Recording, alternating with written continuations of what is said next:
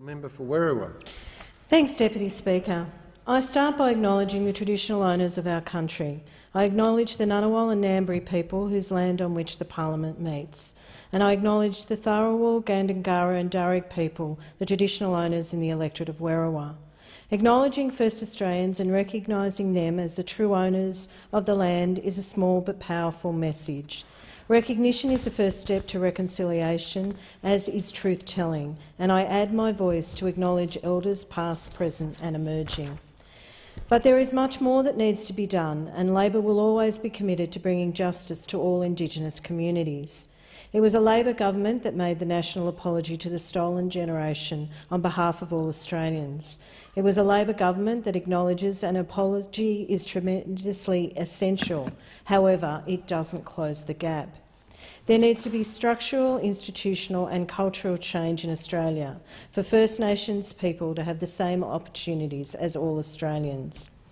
Last Friday I attended the Memories in the Mall event in Liverpool that marks the importance of the apology for our community. It is the importance to remember and to recommit to make a difference.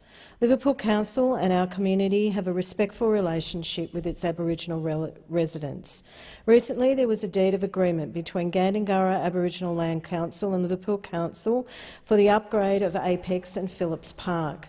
The agreement will ensure that the Aboriginal community will have their history and culture recognised, there will be employment opportunities, traineeships, apprenticeships and an Indigenous garden. Tangible opportunities for change.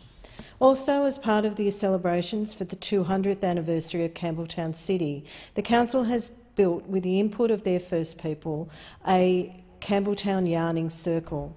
Opened earlier this year by the Mayor of Campbelltown, the Yarning Circle is a show of commitment to supporting and respecting the original inhabitants of, the, of Campbelltown, the Dharawal. I would like to make special mention of Uncle Ivan Wellington, who was pivotal in seeing this project come to fruition and spoke at the unveiling. Uncle Ivan spoke on the great benefits of the site that will bring not only to the local Indigenous community but the wider community as a home. Our local community is showing that it can work to improve the situation for Aboriginal residents, but more needs to be done. It's my great privilege to be part of the House Indigenous Committee. This committee recently handed down its report into food security in remote communities. Food security in these areas has a disproportional effect on Aboriginal Australians. But the evidence that was most distressing was the lack of reliable food chains and supplies came from an Aboriginal elder in a remote community who told us that she fully expects her children will be hungry for at least three months a year because of the lack of deliveries during the wet season. And this just wasn't the result of the pandemic. It happened every year.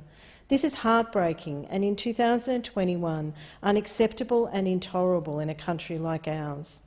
The Closing the Gap report recommendations have highlighted for more than a decade what needs to be achieved to improve the, um, the lives of First Nations people. It is disappointing that many of the recommendations have not been implemented and targets are still not on track. Child mortality rates in Indigenous communities have stagnated for the last decade, sitting well above targets set. 117 Indigenous children tragically died in 2018, more than double that of the rate for non-Indigenous children. And sadly, while the rate of non-Indigenous child mortality is improving at a faster rate, it means that the gap is widening for Aboriginal children. But as the member for Barton said, these are people, not statistics. More needs to be done to understand the health and the social detriments of Indigenous mothers and children if birth outcomes and deaths are to improve.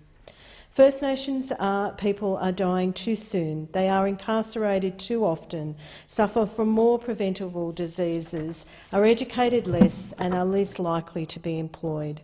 The statistics from the report do not do the real justice for the situation that our First Nations peoples face every day.